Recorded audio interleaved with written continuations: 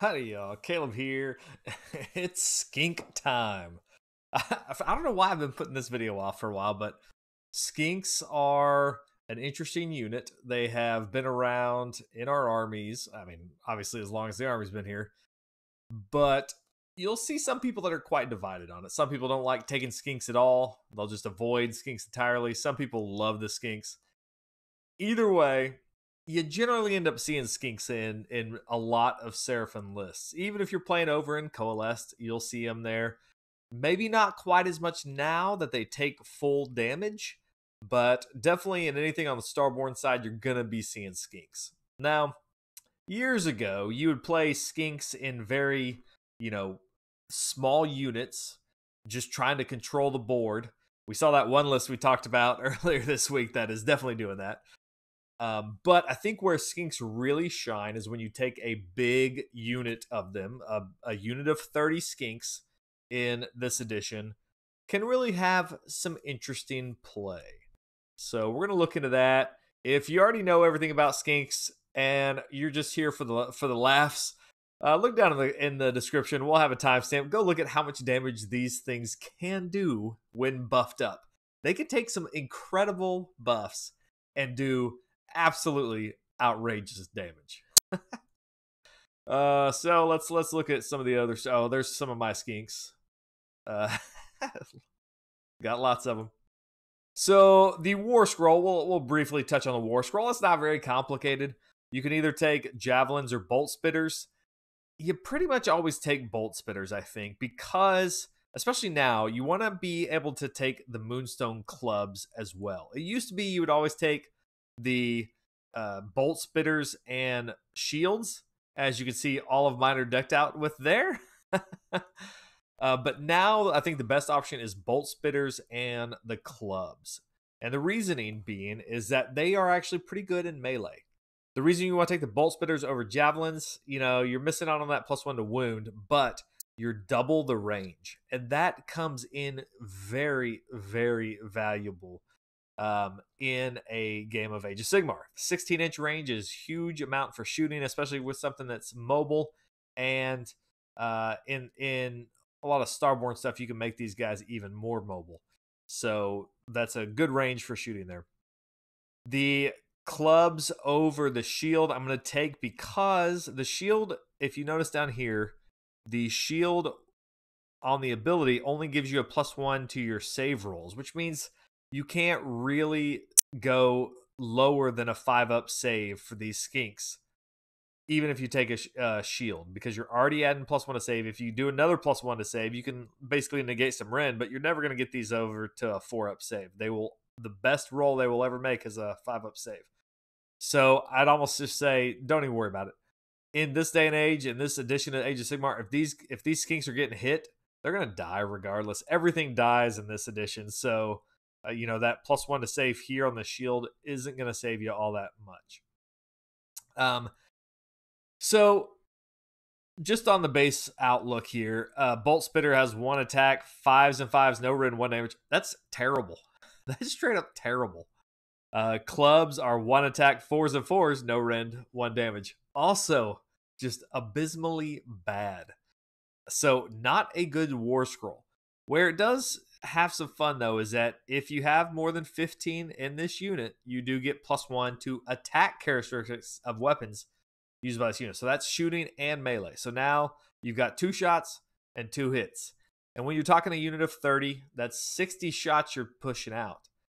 Um, still terrible, but skinks take buffs really well. So their base damage here, you can see uh, kind of the the difference between the bolt spitters and the javelins.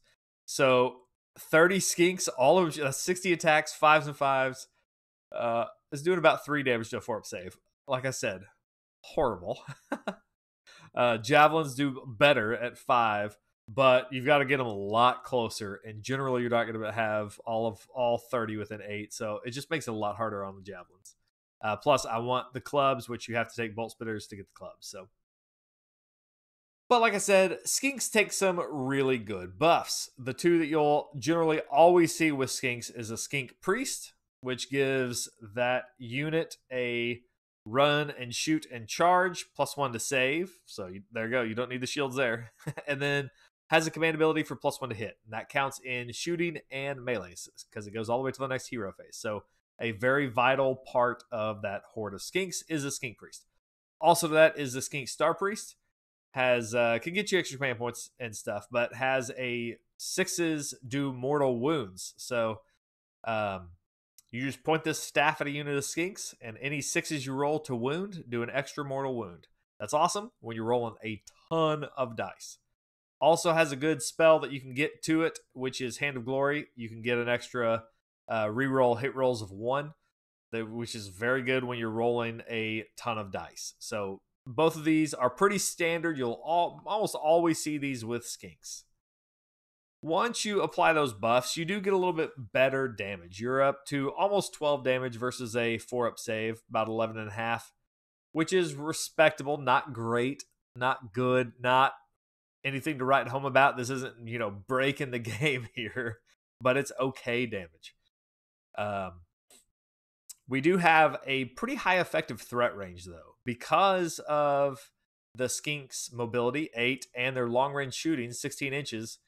Plus, uh, we have different ways to add to their mobility. In Fangs of Sotek, you get an extra plus 3 to that move in turn 1.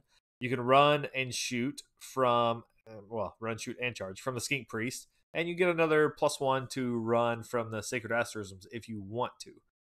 So you have an effective threat range of you know over 30 inches, 31 to 34 inches. I have written down there. Um, that's pretty much the entire board in the smaller the smaller board size in Age of Sigmar currently. So you can hit pretty much whatever you want to. That's not even counting the teleports that you have in Starborn. You can teleport these skinks around if you need to, buff them up, and then teleport them, and they can hit whatever they want. So they a very good unit for board control, for taking you know plinking damage. You know, 11 and a half damage versus a four up save. That I mean, that you're gonna kill some stuff. Um, so great, great all around unit. But it's not just the shooting. It's also this melee. So this melee in this new edition is very interesting. Um, because they are Galletian veterans, they do get to fight with that second rank, and it makes it a lot easier. Now they could already do that because one inch range, they're on 25 mil bases, which means if you're base to base, you can fight over the top. But this just makes it a whole lot easier. I'm still going to only assume for the number for the case of these numbers that 20 models are in range. That's, you know, two ranks of 10. Your third rank behind them won't be in the fight. I think that's that's a good compromise. If you go up against the the right unit, you could probably get all 30 in combat. You know, 15, two ranks of 15 is not unheard of to get into combat. Um, but we'll assume 20. So same buffs as as before. All that stuff lasts until the next hero phase, and those clubs are hitting on fours and fours. You've got two attacks. And look, you're doubling your damage. And that's not even with all 30 of them in melee. You're you're more than doubling your damage. You're at 24 and a half damage versus a 4 up save. So great stuff there from Skinks. They do more damage in combat than shooting. That's just odd. You know, Skinks have always been the shooting unit. And all of a sudden, we're seeing that Skinks will do more damage in combat than in shooting. So very odd. So very odd. Well, guess what? we can buff that up more. So a a Stegadon with Skink Chief can uh, spend a command point, which we haven't used any command points on them yet in the in the fighting phase. Now we can use it for a plus one to attacks. So now each of those clubs, their base one, they got an extra one from having 15 or more models, and they get an extra one from that command point from the Stegadon Chief and now you're up to 30 damage uh, versus a four up save. So, you know, a small incremental change, but this is going to add up as we keep going because we're not done yet. These buffs are going to keep getting insane here. So, the fun part of this new edition is that uh, we can put them in bounty hunters. Bounty Hunter Battalion gives them plus one damage on their melee attacks versus Galletian veteran units. And so those three attacks that each of those skinks is doing in melee is now doing two damage. All right, cool. So now we're up to 42, almost 43 damage versus a four up save. All of a sudden, these these little guys are blending Galletian veterans. Now, you may say everything blends Galletian veterans in this game, and that's true, but these numbers can just get absolutely crazy here, here in a minute. You'll see them. So it's pretty fun to think that, you know, if the matchup goes right, you can be doing some massive damage. Now, 42 damage is going to kill most things. That's going to kill most Galletian veterans. That's going to kill just about anything. But we can go higher. We can go more. We haven't even gotten to the to the favorite debuff of the current game right now, and that is the Purple Sun. How about Skinks with minus two rend? This is achievable pretty easy in our army with Purple Sun, which gives a minus one to save, and a Skink Starseer, which has a spell for minus one to save. So now we've got minus two rend skinks in shooting and melee. Here we're at 85 damage versus a four up save. uh just just crazy. 85 damage versus a four up save. But you know what? Let's go higher. Because we can. Because we can still stack more buffs on this. How about, how about we add on some more? Let's do some mortal wounds with curse. So let's curse something from, oh, I don't know, maybe our skink priest. and let's spend a triumph for plus one to wound. So still all the same buffs from before. We've got bolt spitters and clubs, bounty hunters versus a GV. We've got plus one to hit from a priest. That's in the hero phase. Sixes to wound, do an extra mortal wound. That's hero phase. Reroll hit rolls of one. That's a spell in the hero phase. Uh, plus one melee attacks from the Steg Chief. That's in combat. Minus one save from Purple Sun. Minus one save from Skink Starseer. Mortal wounds on sixes to hit from Curse. That's also hero phase. And then plus one to wound Triumph would happen in the melee phase. You want to use that in melee because all this because skeeks are better in melee now. and look at this. We've got 140 damage versus a four up save. If you're going up against a five up save, you're over 150. 157. against a two up save, you're still doing 100 damage. That's that's just mind blowing. All these are are fairly easy. I mean, probably your toughest thing here is curse because that's going to be on a four up save or four up roll, maybe a three up if you're near terrain on your side of the board. Uh, so that curse is is is the toughest thing to get off in here. Everything else is fairly easy, so completely doable.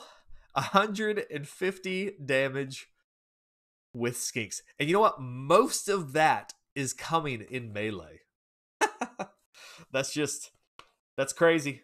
Skinks, melee, a force to be reckoned with. All right, guys. Please let me know if somebody pulls this combo off. That would be absolutely mind blowing. All right, guys. See y'all later.